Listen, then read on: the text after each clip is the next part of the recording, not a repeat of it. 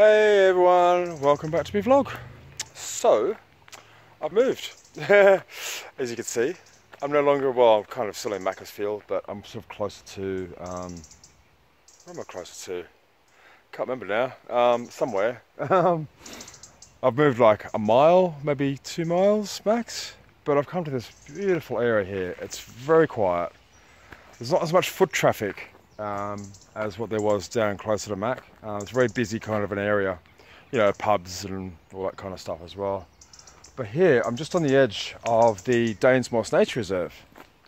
And it's a beautiful area of forest through here. So I'm going to see if I can get some logs for carving and um, just have a chill out time. Some more chill out time, more than what I've just had.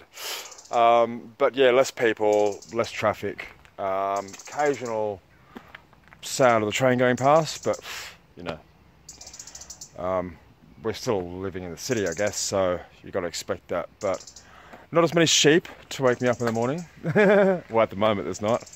Um, but yeah, it's just lovely. And my friend James, he's going to bring his boat up. Uh, he wants to paint it, so he's going to move more out over there, away from sort of the trees and stuff.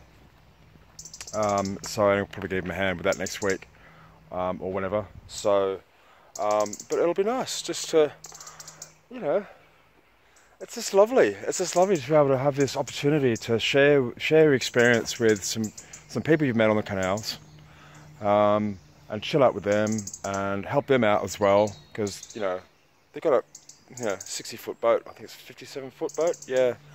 And that's a lot to paint. Um, so where I can, I like to help people out. So and it's part of the experience. Um, so we're just going to stay here for maybe a week or two, see how we go.